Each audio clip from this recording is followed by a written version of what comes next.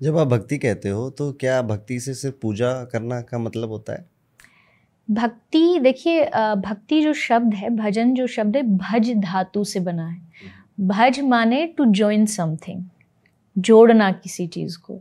क्या जोड़ना?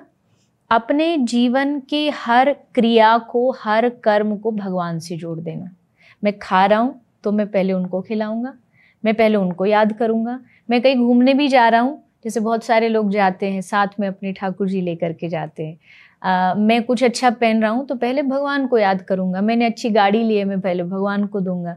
मतलब जीवन की सुनने से लेके देखने से लेके खाने जो भी हमारी क्रियाएँ हैं हमारे जो पाँच क्रियाएँ होती हैं उन सबसे जो भगवान को याद करता हो भजता हो वो भक्ति है। पूजा अलग चीज़ है। पूजा कर्म कांड के अनुसार जो विधि है, जो विधान है, मैं हमेशा कहती हूँ पूजा करने के लिए तो दो रुपए में भी पूजा हो सकती है, लेकिन भजन करने के लिए या भगवान से प्रेम करने के लिए पूरा जीवन लगाना पड़ता है। क्योंकि वो सस्ती चीज़ नहीं, क्योंकि वहाँ मन का मामला है। वो एक्सटर्नल नहीं है कि आप बाज़ार से कुछ ले आए, दे दिया भगवान को, भगवान खुश हो गए।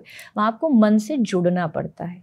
तो भक्ति से मेरा मतलब है कि मुझे इस बात का एहसास हो कि मैं जो कर रहा हूँ, ये उसके लिए।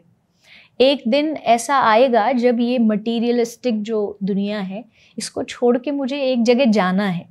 आगे की तैयारी है। मतलब अपना जो हमारा फ्यूचर लोग प्लानिंग करते हैं, लेकिन हम फ्यूचर में सोचते हैं, बस मृत्यु से पहले पहले वाला जो जीवन है, ये फ्यूचर प्लानिंग पर भक्ति क्या है?